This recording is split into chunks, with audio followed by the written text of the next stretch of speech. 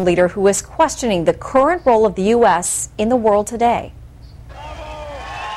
More than two decades after helping to tear down the Iron Curtain, former Polish President Lech Wałęsa is disappointed Barack Obama isn't providing the moral leadership he says the world needs. And I thought that Obama would organize this type of leadership, but it didn't happen, um, and it's uh, it's too bad. Because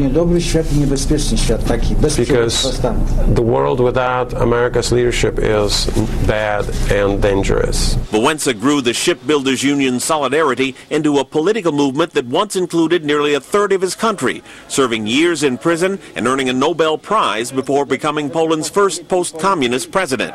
A film about his life is Poland's Oscar entry this year for Best Foreign Film. Wałęsa says dismantling the Soviet Union took the pressure of the U.S.-Soviet arms race, the toughness of Ronald Reagan and British Prime Minister Margaret Thatcher, and the moral leadership of Pope John Paul II, who was born in Poland.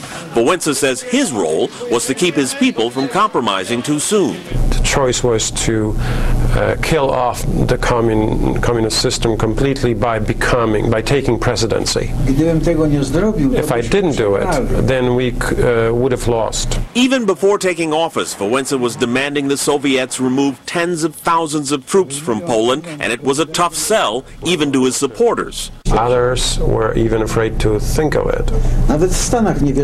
Even in the States, uh, people didn't believe this would be possible. But Wałęsa's own difficulty in compromising may explain why he lost his re-election bid. Midway through his term in 1993, he formed his own political party. And in 1996, he broke with Solidarity altogether. He says he has no regrets. It's not about Lech Wałęsa, it's about a great concept of democracy. I won democracy. I didn't uh, lose democracy. Now, with the Cold War over, Wałęsa worries about China, and he looks to Washington for hope. I hoped that America, that we would regain, in America, we would regain a moral leader. Because that's what the world needs. The world as it is without leadership is dangerous.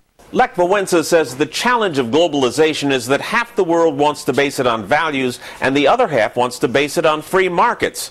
What's needed, he says, is agreement on something he calls a secular Ten Commandments, a set of values and principles that religions and non-believers can both subscribe to. At the White House, Wendell Goler, Fox News.